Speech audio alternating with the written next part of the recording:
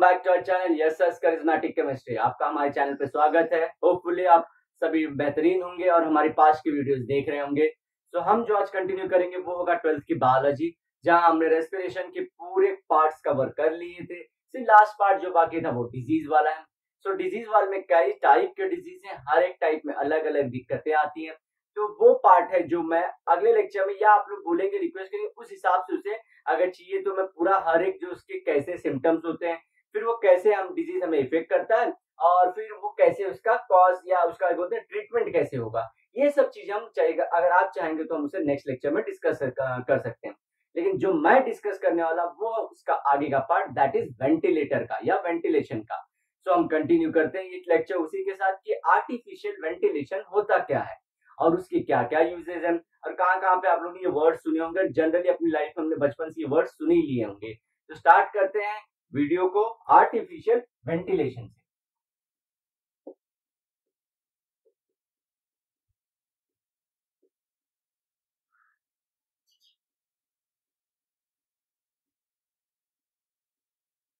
तो जैसा कि नाम ही देख के आप लोग समझ चुके होंगे कि आर्टिफिशियल है मतलब इसे हम ह्यूमंस देते हैं या हम प्रोवाइड करते हैं। It is not a natural thing इसलिए इसे बोलते हैं आर्टिफिशियल रेस्पिरेशन ऑल्सो रेस्पिरेशन ठीक है तो इसे आपको आर्टिफिशियल वेंटिलेशन और आर्टिफिशियल रेस्पिरेशन के नाम से भी आप इसे जान सकते हैं। इसमें जनरली ये कब अप्लाई होता है कैसे अप्लाई होता है?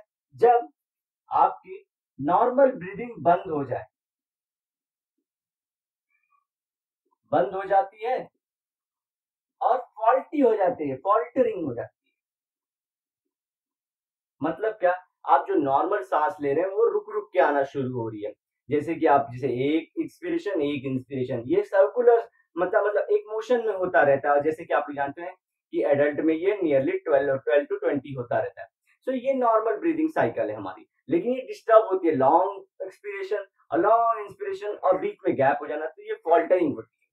और या तो फिर किसी वजह से बंद ही जाए। तो वो रीजन कब होते हैं? जनरली वो रीजन भी आपको जानना चाहिए। वो रीजन कब है? जब आपको कभी शॉक लग जाए इलेक्ट्रिक शॉक भी बोलते हैं, तब लग जाए। तो आप अचानक से आपका ब्रेन का, ये सब में आप क्या ध्यान दोगे कि ब्रेन की कॉन्शियसनेस हट जाती है आपकी। ब्रेन की कॉन्शियसनेस ये खत्म हो जाती है। तो यहाँ पे हम इसका यूज़ लेते हैं आर्टिफिशियल वेंटिलेशन का। और आपको शॉक लग जाए, या फिर आप चोक हो जाए चोकिंग हो जाए। सफोकेशन एक रीजन है। ऐसे बहुत सारे रीजन या तो एक्सीडेंट हो जाता है किसी किसी का। तो यहाँ पे बहुत सारे हैं रीजन जिसकी वजह से आपकी जो बोलते हैं ना ब्रीदिंग हैम्पेन हो जाती है, तब आपको आर्टिफिशियल वेंटिलेशन क्यों? आपको मालूम है कि आपके ब्रेन का कोऑर्डिनेशन आपकी रेस्पिरेशन को मैनेज करता है। आपके इंस्पिरेशन एक्सपिरेशन सेंटर्स भी हमारे, कौन सा, मेडिला में लोकेटेड है। और जब ये लिंक टूट जाती है ये ब्रेन से बॉडी की जो लिंक है, वो अगर टूट जाए तो आपको ब्रीदिंग करने में दिक्कत होती है। तो ऐसे में क्या डॉक्टर्स ने लेके आया वो लेके आया आर्टिफिशियल वेंटिलेशन वो क्या करते हैं? अपर अपर आपके रेस्पिरेटरी बॉडी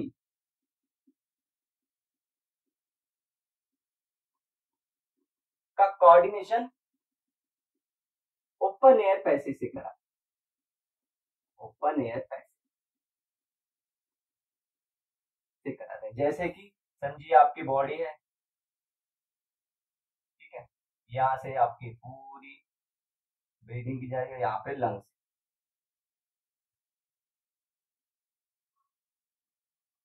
तो ये कनेक्शन छूट जाता है आपका। जो ये रेड में दिखाऊँगा, ये आपके लंग्स हैं। ये कनेक्शन टूट जाता है।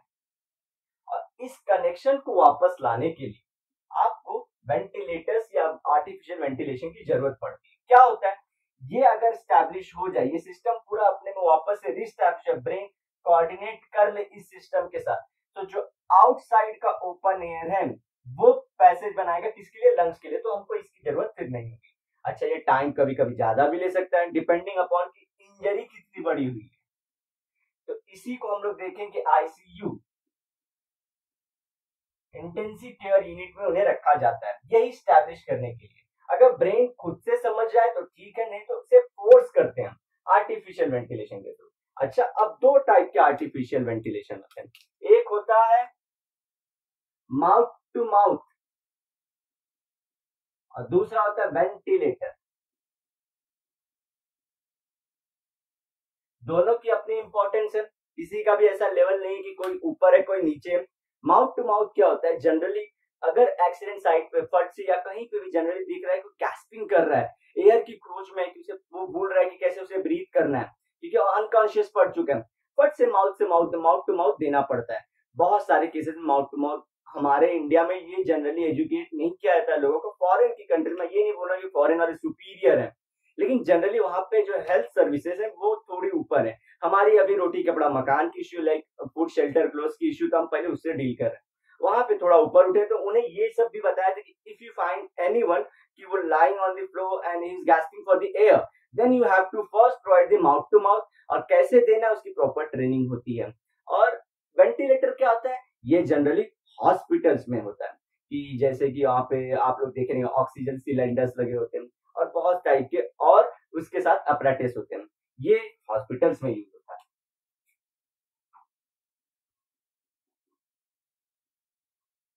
इसका काम भी मैंने दोनों काम बता दिया कि ब्रेन का, हमारे किससे कोऑर्डिनेट है अपर पार्ट्स ऑफ़ लंग से। दूसरा इसमें क्या करते हैं ये लोग? वेंटिलेटर में ऑक्सीजन देते हैं। सीओ टू बॉडी से निकालते हैं। ध्यान रखिए, हमको लगता है कि सिर्फ़ वो जो मास्क लगाए होते हैं, हमको सिर्फ़ वो ऑक्सीजन दे रहा नहीं वो ऑक्सीजन देता भी है और सीओ टू लेता भी है। एंड थर्ड चीज़ हमारी बॉडी को ब्रीथ करने को हेल्प कर। कि भाई कब तक ये वेंटिलेटर पे रहोगे? सीख जाओ कैसे नॉर्मल हवा में सांस लेना है। सो so, उनको ये सिस्टम वापस से ब्रेन को वो सिस्टम वापस से खड़ा करने में हेल्प करता है। तो आप लोग पूरा इंपॉर्टेंस समझ चुके होंगे कि कहाँ पे किसका रोल है। जब इंस्टेंट हो तुरंत ज़रूरत हो माउथ टू माउथ होगा। लेकिन अब बहुत ज़्यादा अमाउंट की है बहुत सीवियर बोलते ना इंजरी है। तो उसे वेंटिलेटर को वेंटिलेटर का कॉस्ट बहुत ज़्यादा है। आप लोग करंट न्यूज़ में फॉलो कर ही रहेंगे जो प्रकार की डिज़ीज़ वर्ल्ड में फैली है, वो वायरस की वजह से क्या होता है? हमारे लंग सिस्टम ही इन्फ्लुएंस हो रहे हैं। तो इसलिए मैं स्टार्टिंग ऑफ़ द चैप्टर ही, मेरे को उस टाइम पे ही पता था कि ये जो चैप्टर्स हैं, आप लोग जो शुरू कर रहे हैं जनरल जबकि हमें लॉकडाउन का नहीं पता था कितना एक्सटेंड होने वाला है। लेकिन ये ज़रूर पता था कि ये जनरल हमारे जो बोलते हैं ना डिज़ीज़ के बारे में नॉलेज के लिए बहुत इंपॉर्टेंट चैप्टर है। क्योंकि कोई ना कोई लाइफ में ज़रूर आइदर रेस्पिरेशन लंग्स जिसे बोलते हैं हार्ट किडनी डायबिटीज़ वाले जिसे बोलते हैं पैंक्रियास से और ब्रेन ये पाँच छह चीज़ों से हमारे जो घर में कोई ना कोई ज़रूर सफ़र होता है। होपफुली आपके घर वाले हमेशा ठीक रहे, कभी ऐसी दिक्कत ना आए, लेकिन फिर भी नॉलेज रखे, या किसी फैमिली सर्कल या फ्रेंड सर्कल में किसी को हो सकता है। तो आप उस टाइम पे ओपिनियन देने लायक रहोगे या बहुत बार आपकी छोटी सी वैल्यूएबल कॉन्ट्रीब्यूशन उसकी लाइफ बना सकती है। तो ये सब ध्यान रखते रहे कि कहाँ पे क्या करना है। जनरली जैसे कि जब किसी को बोलते हैं, हम लोग बोलते हैं कि वो फिट आता है, हमारे नॉर्मल में फिट आता है तो उसमें क्या होता है, उन्हें ना एक साइड लेटाना होता है।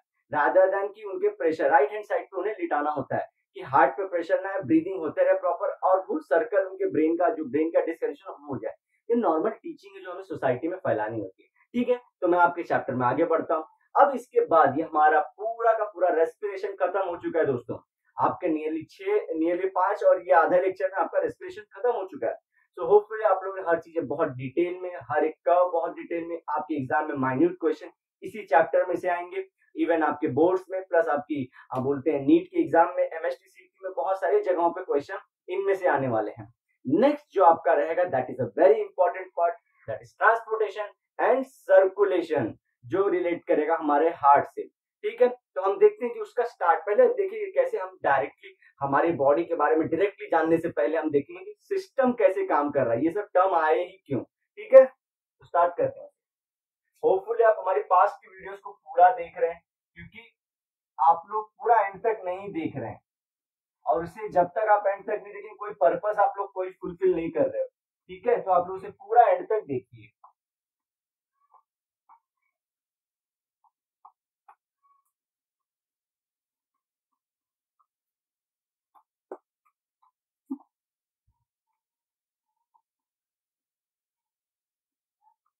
अब देखिए transportation and circulation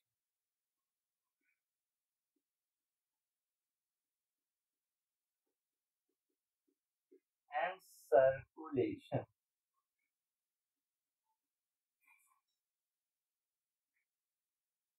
इसमें क्या होता है? हमारी बॉडी हमेशा नीड में होती है न्यूट्रिएंट्स के, किसके न्यूट्रिएंट्स के? तो उसे न्यूट्रिएंट्स हमेशा चाहिए रहते हैं। जैसे कि तो ये समझिए हमारी बॉडी सरफेस है, ये बाहर कोई न्यूट्रिएंट का मॉलिक्यूल है। ये हमारी बॉडी में एंटर करेगा, हमारे सेल तक जाएगा और सेल तक दूसरे सेल और टिश्यू में ट्रांसफ़र होगा। उसके बाद, उसका पूरा यूज़ होने के बाद बेस्ट मटेरियल बॉडी से बाहर निकाल देगा।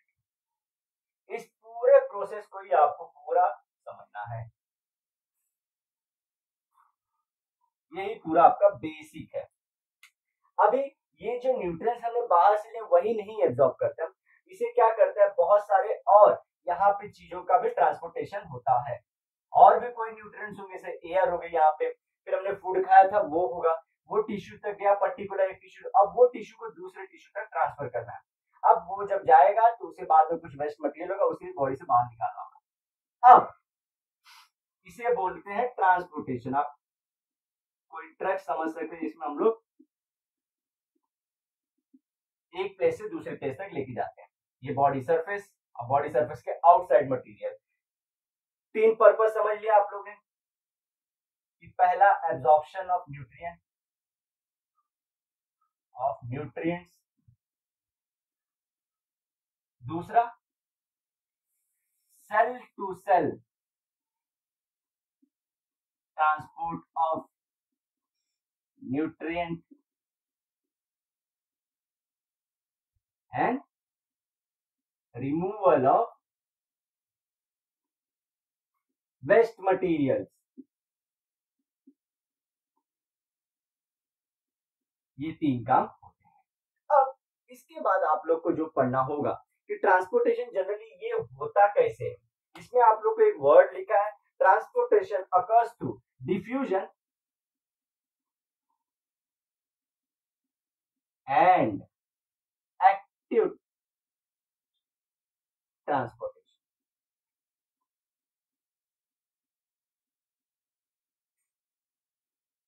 ये वर्ड बहुत इंपॉर्टेंट है। अच्छा डिफ्यूजन का मतलब क्या होता है? कोई भी हायर कॉन्सेंट्रेशन से जो मॉलिक्यूल्स हैं, वो लोअर कॉन्सेंट्रेशन वाले की तरफ़ मूव होते हैं। और ये जनरली पैसिव होता है। पैसिव होता है। अच्छा अब पैसिव एक्टिव का मतलब क्या हो गया? पैसिव मतलब नो नीड ऑफ़ एनर्जी बिना एनर्जी के होता है no need of energy active मतलब बायोलॉजी में आपको हमेशा याद रखना, आप प्लांट सिस्टम पढ़ोगे जहाँ पे ट्रांसपीरेशन वाटर का मूवमेंट होगा एक्टिव वर्ड आप वहाँ पे भी सुनोगे। तो एक्टिव मतलब नीड ऑफ़ एनर्जी एनर्जी चाहिए उसके लिए करने के लिए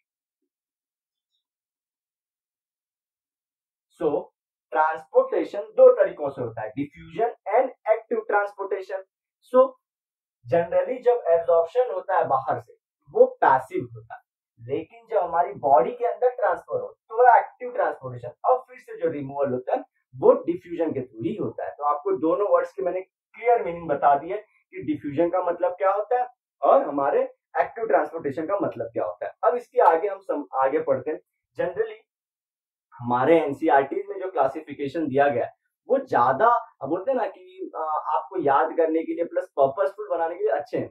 लेकिन महाराष्ट्र की जो हमारी इंट्रोडक्शन पार्ट है सर्कुलेशन का, वो डायरेक्ट है, कुछ भी चीज़ों को मिला के आपको प्रेजेंट किया गया तो मैं जितना कैटेगराइज हो सकता है, उतना कैटेगराइज करके आपको बताने की कोशिश करूँगा।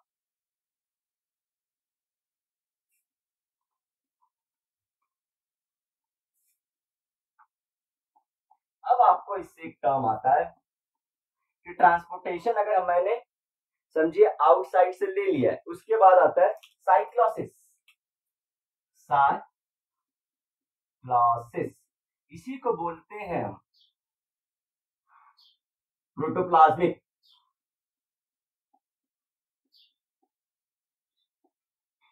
streaming not YouTube streaming protoplasmic streaming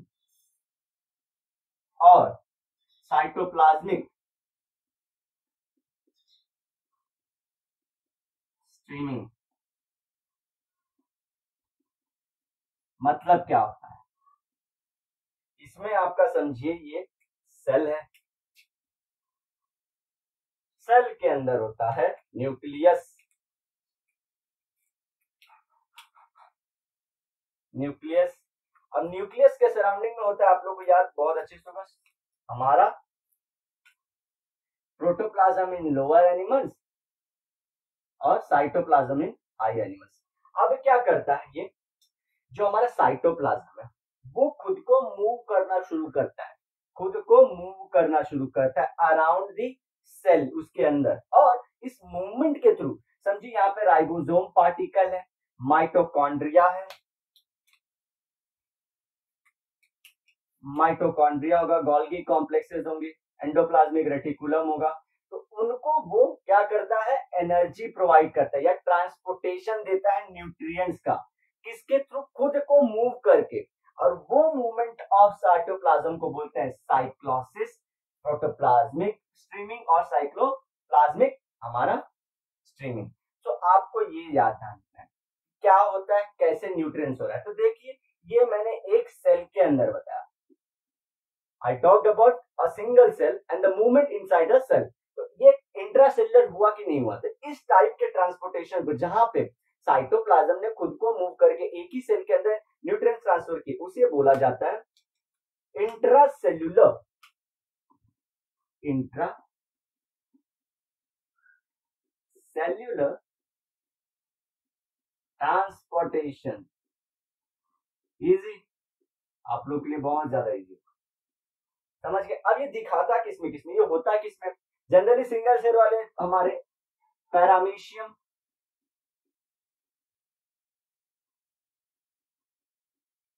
second amoeba ये लोअर एनिमल्स हो, जैसे मतलब लोअर एनिमल्स थर्ड हमारा रूट का root hairs fourth WBC of humans यहाँ तो उनकी पूरी बॉडी ही है। हमारे में सिर्फ़ एक सेल का नाम लिखे। Because we are multi cellular they are unicellular तो देख लीजिए एग्जाम्पल्स कहाँ कहाँ पे होता है? इंट्रा इंट्रासेलर एक ही सेल के अंदर। तो अगर एक नाम है इंट्रासेलुलर तो दूसरा क्या होगा? एक्स्ट्रा सेल्यूलर तो अब हम चलेंगे एक्स्ट्रा सेल्यूलर की तरफ़।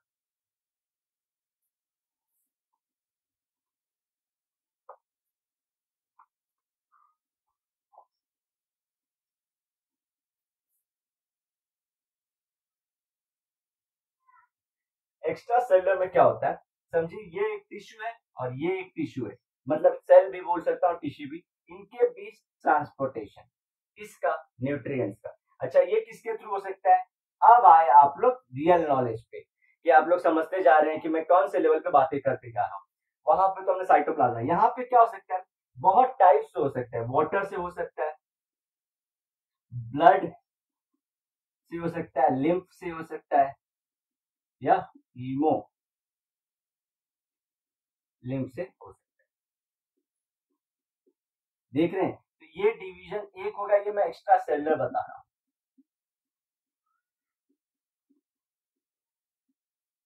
तो एक intra cellular extra cellular intracellular within the cell extra cellular from one cell to another cell और one tissue to another tissue और one organ to another organ उसे बोलेंगे एक्स्ट्रा सेलर एक सेल के बाहर से। सो एक सेल से दूसरे सेल की तरफ़ जाने के लिए कुछ तो आपको रास्ते चाहिए। जैसे कि आप अगर ट्रक से सामान लेके जा रहे हो कोई तो आपको रोड से जा सकते हो वाटर से जा सकते हो और एयर से भी जा सकते हो। तो इसी तरह से आप इस न्यूट्रिएंट को वाटर के थ्रू भी सप्लाई कर सकते हो ब्लड के थ्रू भी कर सकते हो, जैसे कि ह्यूमन से ये मैं बताऊँगा इसका एग्जांपल भी अभी आप लोग जैसे कि अपना सेलेंट्रेटस और स्पॉन्जिम या लिम्फ के थ्रू हो सकता है या हीमोलिम्फ के थ्रू हो सकता है जैसे कि हमारे कॉकरोचेस हीमोलिम्फ के थ्रू होता है। सो so, आप आप समझ चुके हैं कि ये किस पे बेस मैं डिवीज़न इसके बेस पे भी कर सकता हूँ। तो एक हुआ सेल के अंदर या सेल के बाहर। दूसरा क्या हो रहा है? Type of fluid type of fluid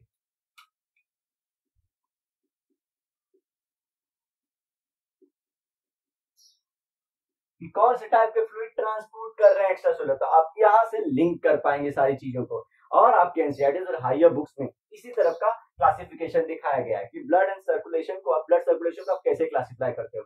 या ट्रांसपोर्ट एंड सर्कुलेशन को कैसे आप पूरा क्लासिफाई करते हो? एक होता है intracellular and extracellular depending upon the where the transportation is taking place then second is the type of fluid, which fluid is actually transporting transporting the nutrients from one cell to another cell. अब देखते हैं water यह किसमें होता है हमारे? Sponge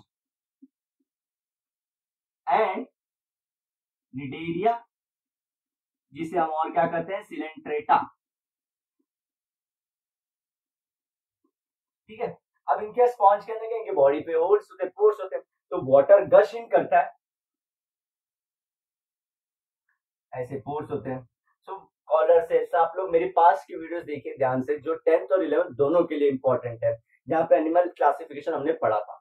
इनकी body में पोर्स होते हैं कॉलर सेल्स जैसे कि आप लोग बहुत से सुनोगे तो वहाँ पे ऑस्टिया ऑस्कुलम करके भी था।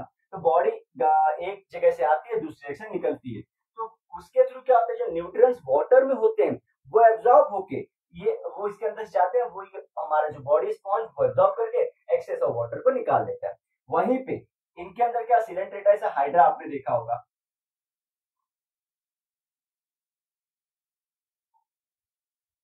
ठीक है? ये क्या करते हैं? इनके अंदर एक हॉलो सेंटर होता है, वहाँ से पानी एंटर करता है इनके टेंटाइकल्स ग्रैब करते हैं वाटर के थ्रू और पूरा वापस से बाहर निकालते हैं। वन सिंगल एंट्री और सिंगल सिंगल एग्जिट रहता है। तो स्पॉन्ज और हमारे निडेरिया में क्या होता है? स्पॉन्ज नहीं बोलना चाहिए, इसे पॉरीफेरा बोलना मैंने एग्जांपल लिया स्पॉन्ज तो वाटर के थ्रू होता है। ब्लड का एग्ज़ाम्पल है ह्यूमन। और इसका मैंने बता दिया। अब इसके अलावा भी कुछ और भी है, जैसे कि हमारे, इनके अंदर क्या होता है? प्लेटफॉर्म्स प्लेटफॉर्म्स और इन्हें प्लेटी हेलमिंटेस भी बोलते हैं।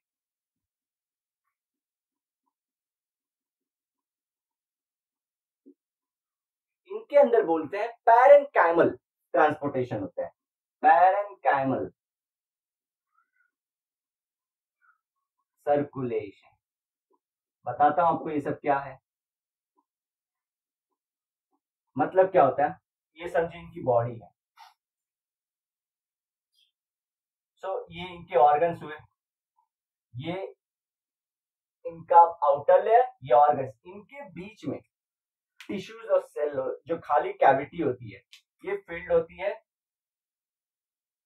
फ्लूइड से। और ये फ्लूइड के थ्रू होता है ट्रांसपोर्टेशन न्यूट्रिएंट्स का पूरी बॉडी में। और इसे बोलते हैं पैरेंकाइमल सर्कुलेशन तो आपको अब ध्यान होगा प्लेटफॉर्म में कह सकता है। अब राउंड वर्म्स में क्या होता है जो इसके बाद जिसे हम बोलते हैं एस्क हेलमेंथिस क्या बोलते हैं? एस्क हेलमेंथिस और राउंड वर्म्स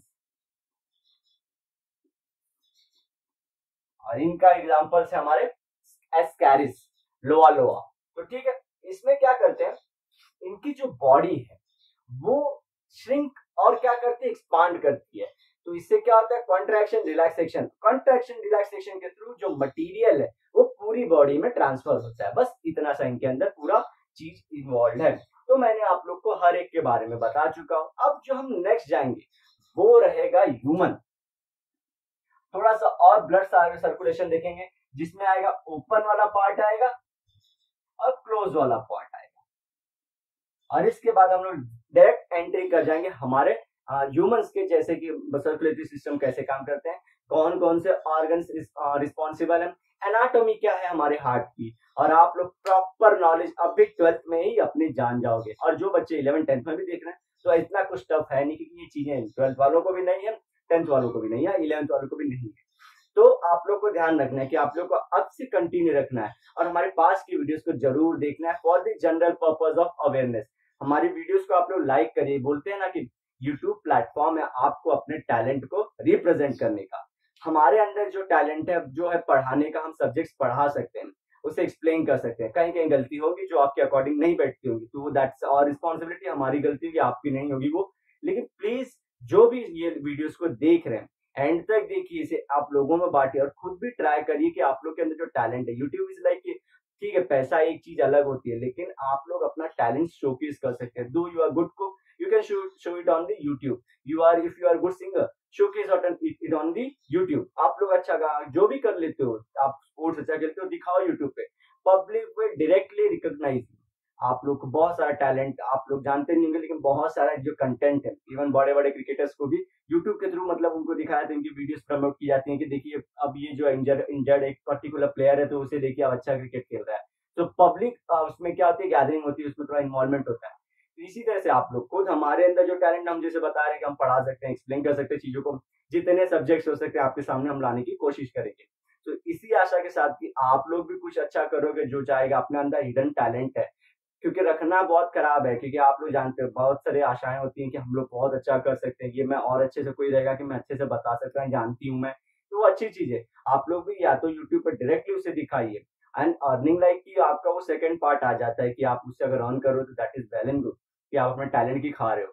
सो so, हमारी जो एम है वो है पढ़ाने की है जो हमारा फ़िलहाल हम जो हम कोशिश कर रहे हैं वो है आप लोग को ज़्यादा से ज़्यादा मोटिवेट कर पाए कि you people do good in your life either through education और योर इनर इनबिल्ट टैलेंट जो आप लोग को दिखाना ज़रूर है। अगर कोई प्लेटफॉर्म नहीं मिल रहा है then this platform is very good अब इसके में जो पॉलिटिक्स है, जो सब इन्वॉल्व है, वो that is the thing that can come from any platform any anywhere ठीक है तो आपको ये चीज़ ध्यान रखनी है। और आशा है कि आप हमारी वीडियोस को कंटिन्यूसली फॉलो करते रहोगे।